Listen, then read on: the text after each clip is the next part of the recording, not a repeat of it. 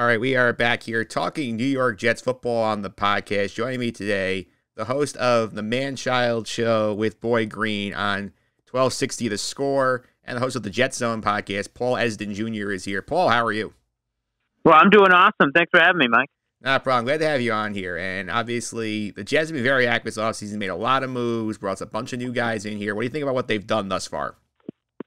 You know, uh, they've uh, checked off a lot of boxes. There's still more to be done, and with uh, obviously less than two weeks uh, before the 2022 NFL draft, they'll have the opportunity to do do so. Nine picks overall uh, in the draft, four of those within the top 38, and specifically two of those inside the top 10. But so far, I think they've done a good job. Tight end, I like C.J. Uzomah and Tyler Conklin. I think those moves went really under the radar, but those are you know major upgrades to what the Jets have had at tight end. Uh, in the past. I think Laken Tomlinson on the interior, I think that gives them a proven guard that's been playing at a very high level for a long time, coming off uh, Pro Bowl season. Go over to the defensive side of the ball. I got Jordan Whitehead, who I think uh, they got at an insane value. He's going to be a nice starter there at safety.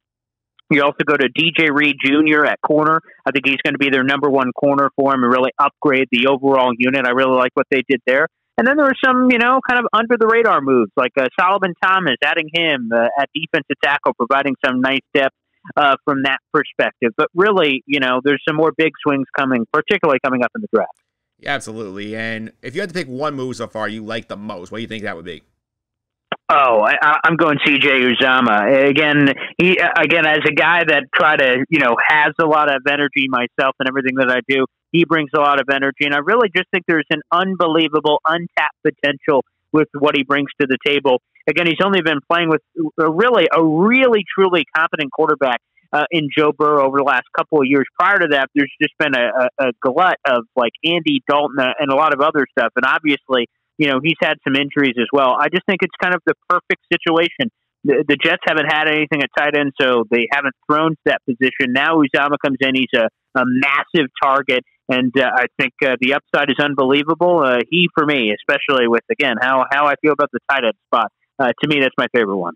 Absolutely, and obviously, one thing I think a challenge them is all season is just you know that they've gotten better. The rest of the AFC has also gotten a lot better. So how do you think the AFC arms race sort of impacts the Jets' chances here to, to improve in 2022?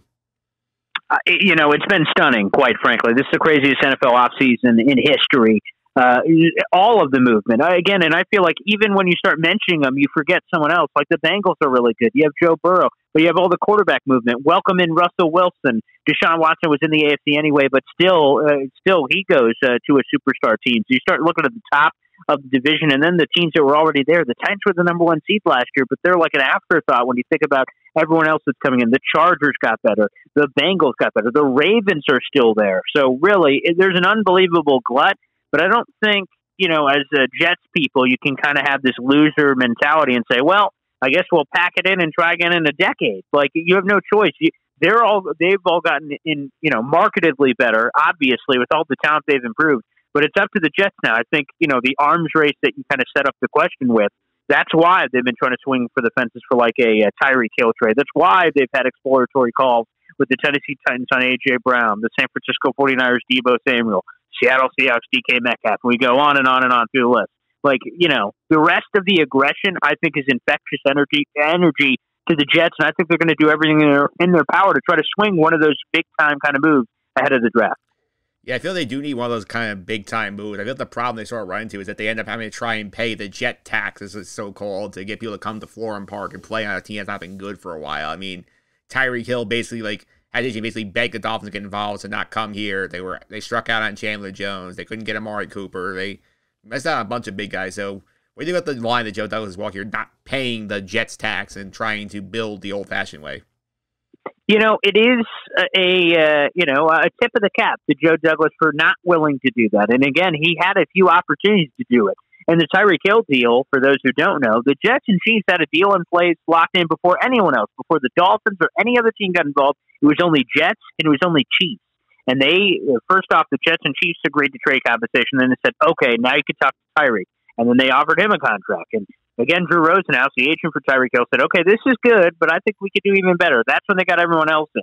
But before he did that, the Jets could have sealed the deal. They could have given Tyreek Hill crazy money, and then the trade would have been done right there and Tyreek Hill would be a member of the Jets. But Joe Douglas obviously refused to pay the Jets tax there via trade. He refused to do it, excuse me, in free with like a Chandler Jones. He was willing to pay a lot of money for Chandler. Was willing to pay a lot of money for a bunch of the other players, uh, other guys they're interested in. B.J. Hill on the defensive line, D.J. Jones on the defensive line. But ultimately, those guys picked to go elsewhere with a fair offer uh, coming on both sides. Again, that's a bold take by Joe Douglas and one that should uh, lead to sustainable success in terms of not just kind of blowing your load, doing a crazy free agency overload, as we've talked about previously, of past GMs just throwing a lot of money at free agency, being maybe good for a short period of time. 2015, they were 10 and 6, and then it all kind of fell apart. So Joe Douglas is going for a long term approach, but again, at the same time, he doesn't have forever. He needs to win. This is a results oriented business. At the end of the day, this is about wins and losses. So they need to get more wins,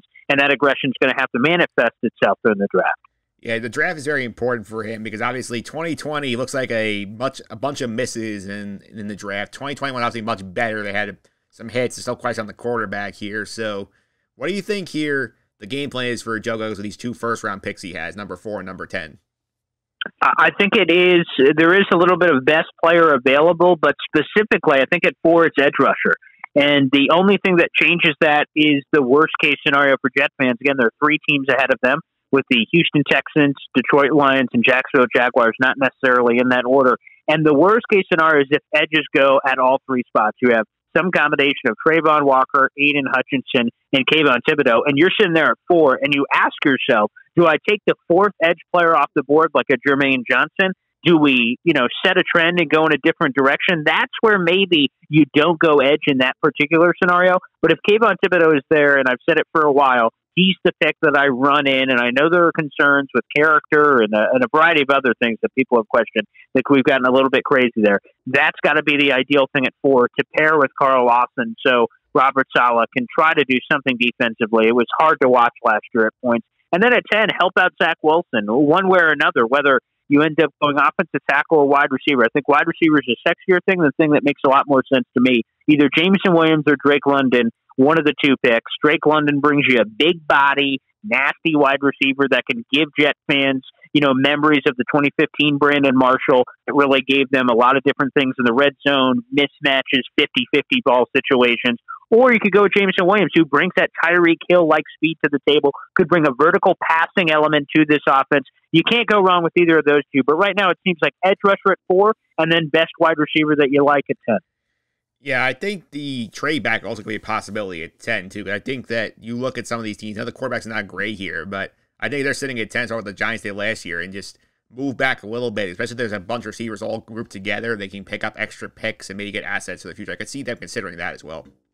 A hundred percent. That is an option. Again, if a lot of uh, if there's a glut of players they like, like let's say a realistic possibility is all the receivers are on the board because I think the earliest a receiver could go in this draft is eight to Atlanta. But you know, no offense to any of your Atlanta Falcons listeners, you know, you know they need everything. So that's the earliest it could go, but they could go in a variety of other directions. Seattle isn't taking it. They're going to add either a corner or a pass rusher or maybe even a quarterback. So that means all the receivers should be on the board at ten. And if they're all at 10 and the Jets like multiple of them, you could drop back a little bit in the draft, maybe to the Eagles at 15 that got multiple, that's got some ammo.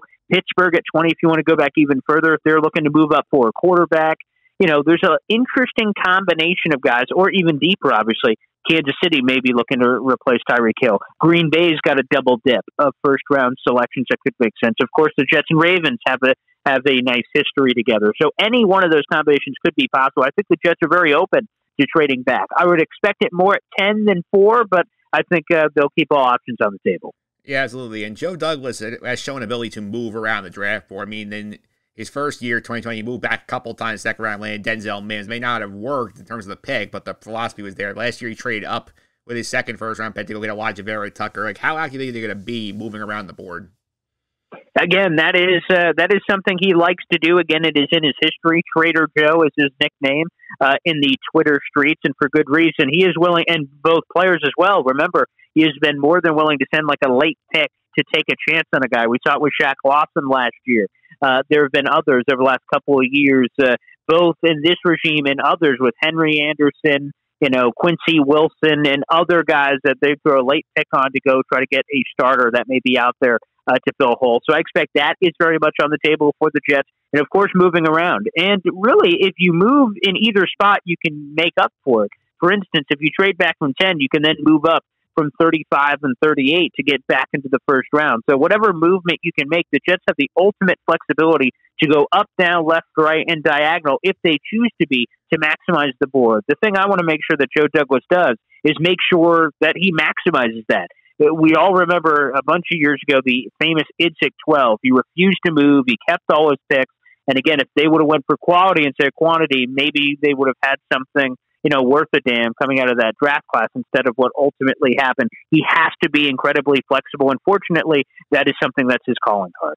Yeah, for sure. I do think with them, I think their dream scenario, correct me if I'm wrong, here, you think like if one of these big receivers becomes available, whether it's AJ Brown or Deebo Samuel or DK Metcalf, that they can swing a trade using either number 10 or the two twos and then find an opportunity to use their picks to trade around and get more ammo. Yeah, would that be correct in your opinion? I think that'd be the dream scenario for Joe Douglas. Oh, absolutely. Because again, if you get a wide receiver like any of the ones you named, Scary Terry, DK Metcalf, Deebo Samuel, uh, AJ Brown, all of them, all of them are really good and better than what the Jets have, obviously. If you can get one of those guys, first off, wide receiver is solved, obviously, so that's good. And secondly, there's no guessing you know all of those players are established players in this league that have some level of resume to them where they're coming in they can immediately be a number one wide receiver for the Jets. And that's the other part of the trading scenario we just talked about a few minutes ago with this. If you trade whatever it is, whether it's 10 or the two second rounders, either way, we can talk about both scenarios. If you trade 10, the Jets still have fourth overall and then two second round picks. So they would have more than the common team. The average team is one pick per round. If they never make any trades, that's what the NFL gives them. So if you're telling me the Jets could trade for any one of those receivers we just mentioned and still have more than the common team, then you're doing pretty well for yourself uh, if you're the Jets. And also, if you do that and you want more picks and try to make up and recoup for the loss, let's say they move the Tyreek Hill package, right? It was 35, 38, 69 for whatever random wide receiver you want. Then trade back from 10 and pick up some of those picks you just lost, and boom, you get the wide receiver and still get the picks if that's really what Joe Douglas wants to make sure he maintains. It is completely on the table, completely legit, and the Jets are basically keeping their phone on vibrate and they're watching the Twitter streets. See if uh, A.J. Brown, who earlier this week kind of went off on Twitter, removing Tennessee from his Twitter bio and and going on a mini rant about, hey, if you guys don't want to pay me, that's fine. You know, that's what they're waiting for. And I think they're waiting for with popcorn in their hand, hoping one of these situations blows up and gives them an opportunity. Yeah, I think the other thing I'm interested in is obviously if they don't end up trading the for a receiver, like one does not come available for them, like I saw a mock on the Athletic recently. It's had them trading back into the first round with one of their seconds to go get a guy like Tyler Linderbaum. I think we just think to see like if they do take the opportunity to take a plunge and go for a third first round pick and they think there's a guy that like slipping towards the end of the round. That would make a lot of sense. Mel Kiper's mock draft had that as well, where uh, they traded back into the back end of the first round, got Tyler Linderbaum. And again, that's why I say you have to maximize your picks. There's a lot of combinations of things you can do. I think four, you, you could go edge rusher, you could go offensive lineman if you like Ike Ekwonu. Then ten, you could go wide receiver, the secondary edge rusher if you didn't get that at four, like a Jermaine Johnson, and then trade back into the first for one of a variety of things. They could go get their wide receiver of their dreams. Tyler Linderbaum is a guy that could drop. Another player that I know the Jets really like that could drop is Nakobe Dean, the linebacker out of Georgia, and it could be similar to the situation we saw, we saw with Jeremiah Owusu-Koramoah, uh, the guy who had uh, some medical concerns, fell all the way to like 54 for the Cleveland Browns and they got a great steal. Uh, similar with uh, Nakobe, where he's got the positional value question marks, he has the size question marks, so maybe he slips, and you can move up for that. Or you can move up one of the safeties. Jets like Lewis Cine, there's Daxton Hill out of Michigan. There's a couple of, and really, it's kind of a, it wouldn't be the first world problem, it'd be the opposite of that. The, the third world problem is that Jets have so many needs that you could trade up for a million different things. If players are slipping, you have to be aggressive. I'd be all for Linderbaum, quite frankly because then you can turn around and either cut Connor McGovern straight up and save nine million bucks, or you can approach him Jamison Crowder style last year, like the Jets did, and said, "Hey, we'll cut you, or you can take a pay cut." And basically, they sliced his contract in half and fully guaranteed it. They can do the same thing for McGovern to ensure some interior offensive line depth, which would never be a bad thing. How much does the tackle position concern you long term? Because obviously George Fant had a bad first year, great second year, free agent after this season. Mekhi Becton did barely play last season, was bad in camp. So would there be a world where they take a tackle like high and you say, "Oh, I'm okay with this"? A hundred percent. And I know that this is a polarizing take apparently on social media, but look at the future of the offensive tackle position just for a moment. George Fant is a pending free agent, so that's a question mark. He'll be a free agent in 2023. Uh, Mekhi Becton, obviously, we haven't basically seen him in two years. He played only a handful of snaps in the season opener before he was lost for the year, and even in his first year, he had a lot of injuries. And after that is Connor McDermott and Chuma Edoga. That doesn't, you know, no offense to those guys, but you know, that doesn't give me any confidence whatsoever to protect Zach Wilson. To be honest, I'm willing to do a Joe Namath guarantee on the show that they take an offensive tackle with one of their pick, their four picks in the top 38. Again, trades and anything could change that, but if they stay where they're at, I fully expect them in one form or another to take an offensive tackle. And quite frankly, they should look at it no matter what combination you do, you don't have a long term answer. George Fant is 30 years old, and while he had a nice pop last year and looked great, and thank goodness the Jets had him when Becton went down, there's still a lot of questions there. Are you going to be willing to pay him 18 plus million per year in a long term deal for a guy on the wrong side of 30? Again, maybe they will be. They like him a lot in the building, but I'm not so sure. So to me, 100% I draft an offensive tackle either in the first or second round guaranteed. Yeah, let's say for argument's sake here that they don't end up making a trade. They have these four, the first four uh, picks, two in the first, two in the second here. Like, what positions are they taking with those four picks? All right, so just position. So let's see, four edge, you, you go edge. Uh, let's see, ten, you go wide receiver. Again, no trades being considered, and I don't think you could be complacent or lazy. Again, if there's no trades involved, you have to address wide receiver ten because you can't just hope that there's an Elijah Moore there at 35 or 38 again this year. That would be uh, that would be, uh, you know, mismanagement of assets if they chose to do that. So again, edge four, wide receiver ten, and then in the second round, I, I wouldn't mind uh, like a safety at thirty-five. You need another guy to pair there uh, with Jordan Whitehead. That would certainly uh, be on the table for me. And then, as I said, you know, my own guarantee that you go offensive tackle there with thirty-eight. So some inclusion of that. You can mix them around a little bit, but that's basically the top four I go for. All right, my last question is this. Obviously, they've done a lot of work. They not won many games in recent years. They won two in 2020 and they won four last year. What's a realistic expectation level for the Jets in 2022? Is it that you know they're in the hunt in the late in the season, they're trying to make a playoff push, don't necessarily get there? Like, what's the realistic expectation level here? You know, uh, when you ask me this question again, we're like uh, nine days away from the draft. To what you asked me like a week after the draft, it could be a, a stark difference. That's how big this draft plays a factor in expectations uh, for the New York Jets moving forward. Right now, they're probably, I don't know, a seven win team, somewhere in that ballpark, a feisty seven win team, uh, six, seven win team. But again, if you do enough in the draft, you have the capabilities. Again, four picks in the top 38, nine picks overall, two picks in the top 10. This is a very unique, once in a lifetime opportunity to hit the accelerate button and jump to another level. And obviously, all of that goes to Zach Wilson. Where he goes is where the Jets go. If he sucks, the Jets are going to suck. If he's great and takes a quantum leap with the improved offensive talent around him, then the Jets can be as good as he can be, which could be realistically like a six or seven seed in the AFC playoff picture. That's possible if Zach Wilson makes the leaps that everyone thinks he's capable of. But it all depends on this draft. Again, if you walk away with a good draft, you tell me they walk away with like KT, Jameson Williams. You give me a nice safety like Jaquan Brisker in the second round, and then third up like maybe Tyler Smith at a Tulsa. You think that I'm like, okay, I could see him being, uh, you know, eight, nine, nine, and eight. I could see that, and in the conversation. And uh, to Joe Douglas's point, that's a quote they keep spitting out: is uh, playing meaningful game in December, where we're not like in October, like, up, oh, the season's over, one and seven. Let's look towards the 2023 draft, like being competitive, being you know, five and four, five and five, six and four, whatever it is, and being on the in the hunt graphic on the screen and having an opportunity to compete for a playoff spot and be in the playoffs for the first time in over 11 years. Absolutely, Paul. Thanks a lot of time. I really appreciate it. Before I let you go, I could you follow on social media and keep up with some of your other uh, uh, material? Absolutely. Uh, it's uh, you can follow me at Boy Green two five everywhere: Facebook, Twitter, Instagram. That's the easiest place to hit me. And uh, a lot of all my shows and content and and big time interviews you can see on my YouTube channel, youtube.com slash boygreen25. Boy Green the color 25. Hit it up and hit subscribe. Absolutely. I saw you an interview with uh, Dane Brugler recently. What any do you have any fun insights about the uh, Jets draft situation there?